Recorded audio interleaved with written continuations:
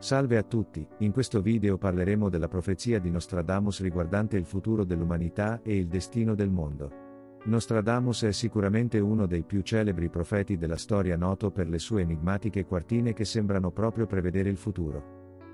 Ma prima di proseguire con il video, ti chiediamo un gentile favore, iscriviti al canale e metti un mi piace a questo video. Potrai così aiutarci gratuitamente a divulgare le nostre storie e messaggi dedicati alle riflessioni spirituali e religiose. Grazie di cuore.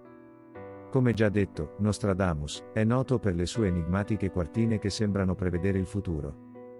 Tra queste, ce n'è una che ha sconvolto l'umanità per secoli, la quartina 10 a 72, che recita così.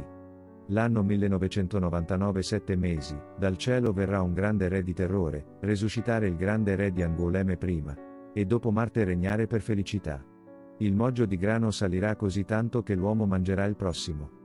Dalle traduzioni dall'antico francese eseguite dagli esperti, sembra che molte indicazioni stiano arrivando a connettersi con gli sviluppi della realtà.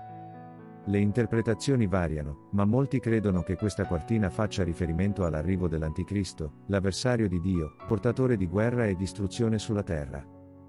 Il grande re del terrore potrebbe essere il capo di una potenza mondiale scatenante un conflitto nucleare, mentre il grande re di Anguleme potrebbe rappresentare un antico sovrano mongolo, forse Gengis Khan, simbolo di violenza e crudeltà. Marte, infine, simboleggerebbe il pianeta rosso e, al contempo, il dio della guerra, che regnerà secondo la volontà del maligno.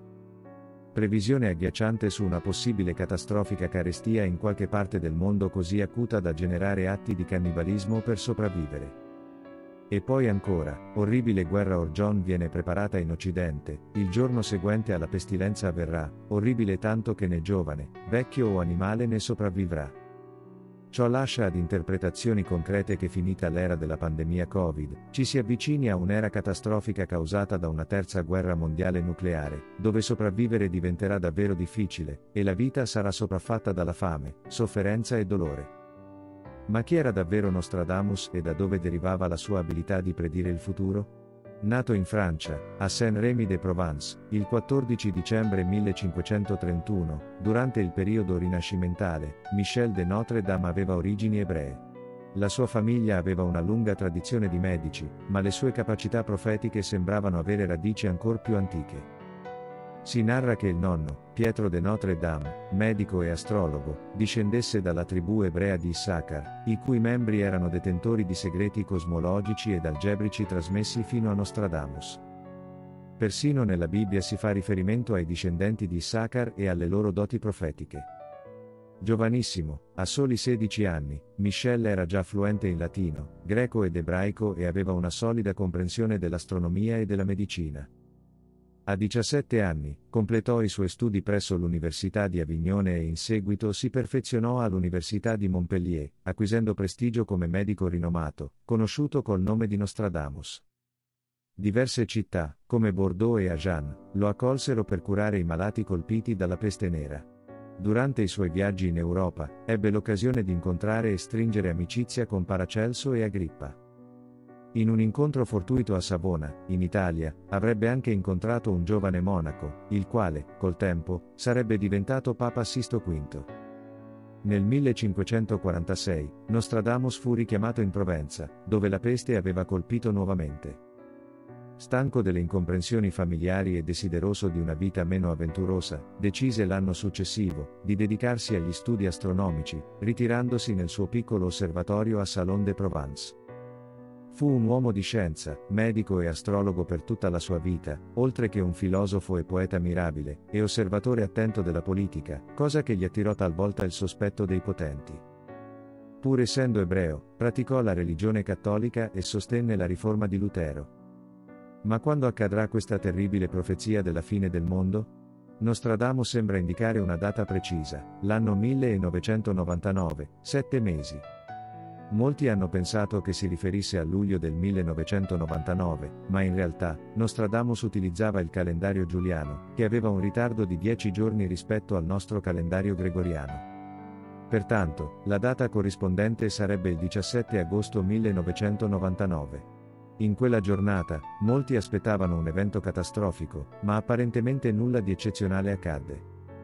Tuttavia, alcuni saggi osservatori notarono che in quel fatidico giorno, un evento astronomico raro e spettacolare sconvolse l'Europa e l'Asia, un'eclissi solare totale, simbolo inquietante dell'oscuramento della luce divina.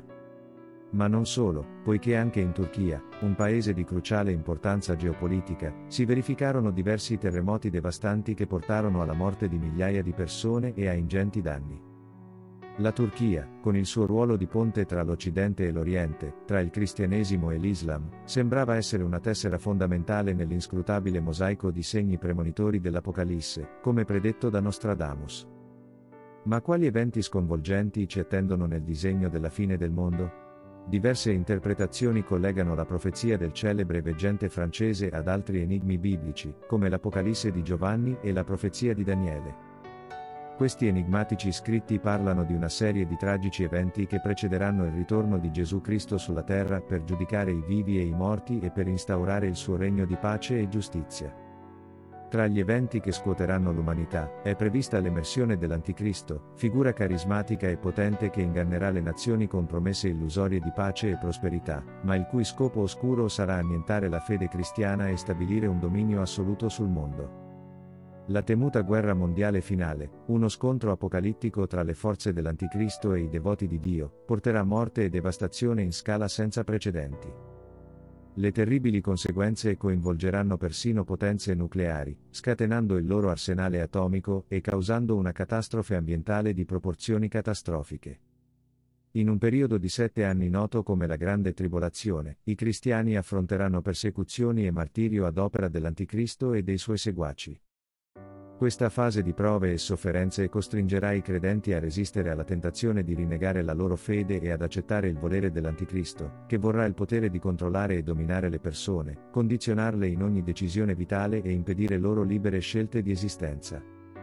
Tuttavia, nel momento cruciale, Gesù Cristo farà il suo trionfante ritorno dal cielo, circondato dagli angeli e dai santi, per sconfiggere l'Anticristo e i suoi alleati. Questi malvagi saranno gettati nel lago di fuoco, e Satana stesso sarà imprigionato per mille anni. Nel grande giorno del giudizio, il Signore separerà i giusti dai malvagi e distribuirà le giuste ricompense e punizioni. Metterà in atto l'attesa giustizia divina.